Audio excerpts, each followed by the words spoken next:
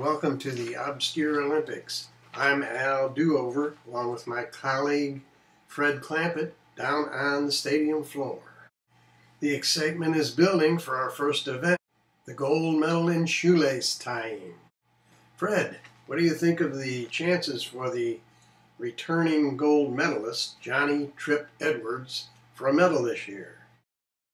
Well, if Johnny gets a good start, he's going to be tough to beat this year. Our camera will be focusing on him the whole way this time. Let's watch and see what he can do. They're about to start, so here we go.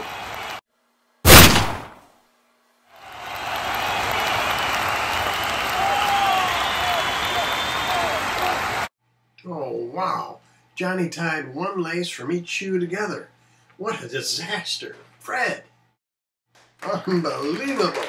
Uh, this happened about eight years ago to Johnny in Dunmore, Iowa, if you remember. I thought Johnny had put that behind him, but uh, he did have a good time, though. Fred, do you think you can get a word with Johnny?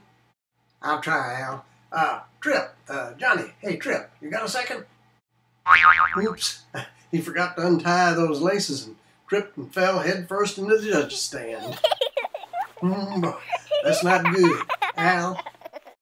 Well, that's going to be it for uh, this event from the Obscure Olympics. Uh, we'll see you next time.